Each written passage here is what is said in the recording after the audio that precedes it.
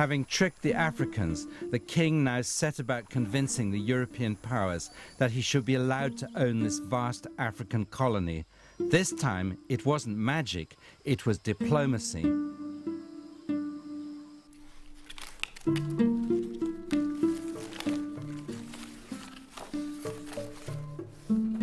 By 1884, the great powers were all lined up in Berlin to hand over the Congo to the king. No Africans were invited. Ce document, c'est l'acte général de la conférence du Congo, publié le 26 février 1885 à Berlin. Ce document est connu dans l'histoire comme étant l'acte général de la conférence de Berlin. Léopold II, roi de Belge, n'était pas présent à Berlin. The conference gave Leopold everything he wanted. It's very remarkable to see that King Leopold managed to trick the great powers at that time.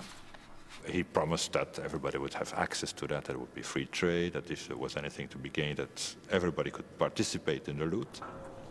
And there was quite some remorse afterwards in other countries that he got away with it. But he did.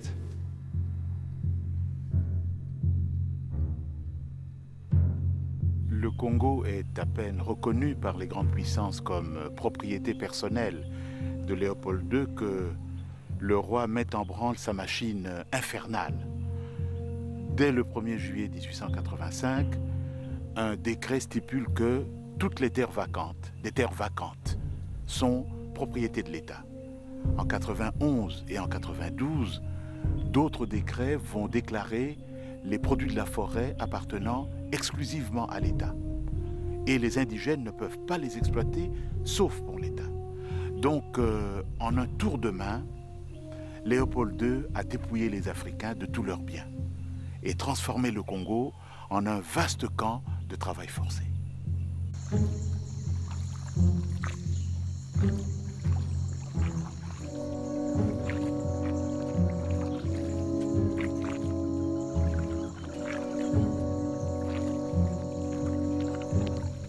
To enforce his rule, the sovereign king had created an army.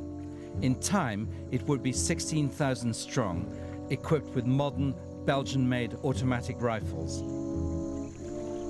The novelist Joseph Conrad was in the Congo Free State from the start. As a result of what he saw there, he wrote Heart of Darkness. They grabbed what they could get for the sake of what was to be got. It was just robbery with violence, aggravated murder on a great scale, as is very proper for those who tackle a darkness.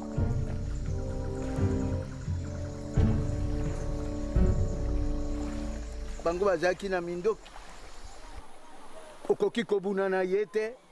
Bakobeta bino masasi lokola nyama. Koboma bato ebele ebele ebele ebele. Bakovandaka ndako te. Bakovandaka obele kuna boye. Na zamba lokola nyama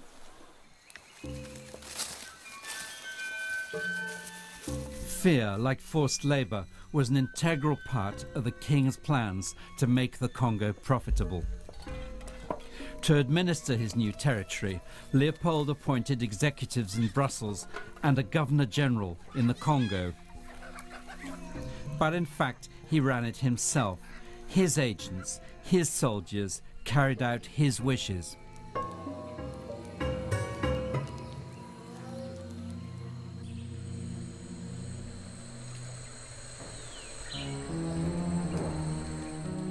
The conquest of the earth, which mostly means the taking it away from those who have a different complexion or slightly flatter noses than ourselves, is not a pretty thing when you look into it too much.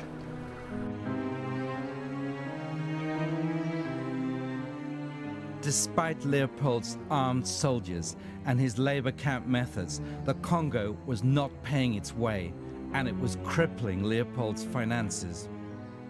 As the months went by, the king was getting increasingly desperate. What saved Leopold was the demand for cars and bicycles.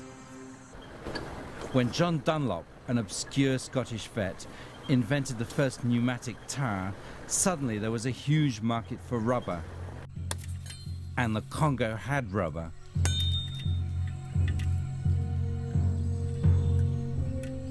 In the years to come, there would be competition from rubber plantations in Asia and South America, but for now, the king had the market all to himself.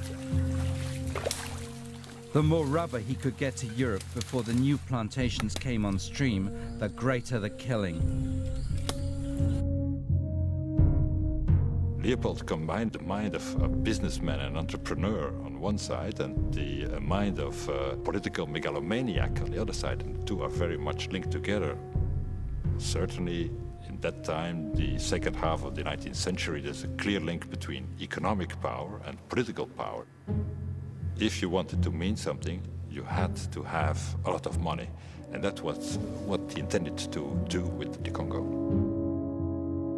For Leopold, transforming his new assets into cash simply meant ratcheting up the level of force.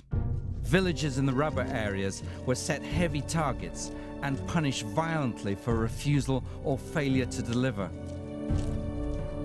The reign of terror had begun.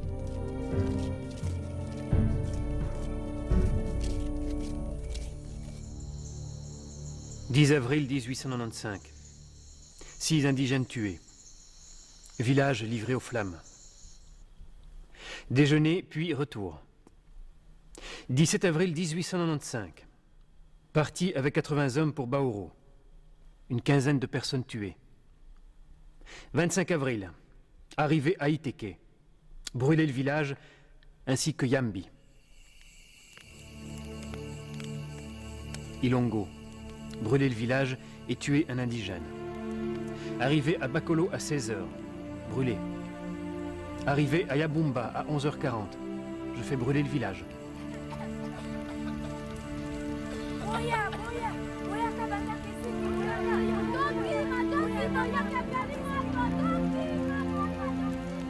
Arrivé à Likombe à 3 h Tout à coup, nous sommes attaqués. Deux soldats sont tués à côté de moi. Après quelques instants d'une fusillade bien nourrie, les indigènes prennent la fuite en laissant 13 des leurs sur le terrain je fais mettre le feu aux cases.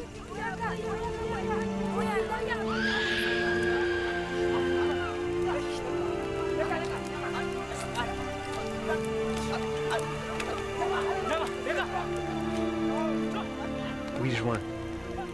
Je me dirige ensuite sur euh, Yamapete. Je fais incendier le village.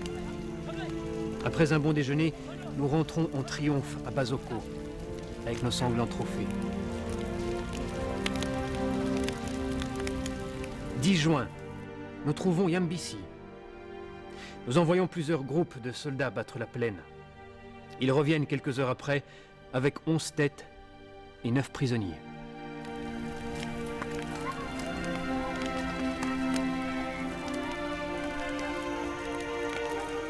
« 22 juin.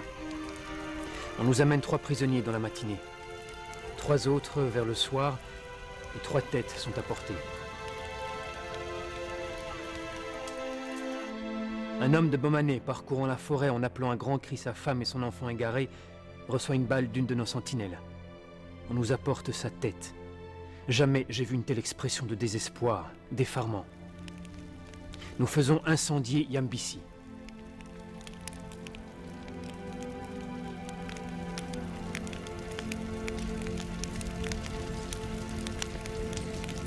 Ik denk dat inderdaad Leopold II morele verantwoordelijkheid draagt voor wat binnen het systeem waar hij achter stond en dat hij heeft georganiseerd, ja, dat hij daar de morele verantwoordelijkheid voor draagt, natuurlijk. Dat is, dat is duidelijk.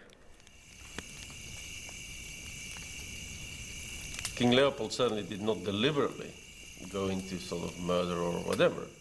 King Leopold was part of, of a regime and part of an economic sort of system that basically considered that part of the work as his private property and that he could rule as he wished.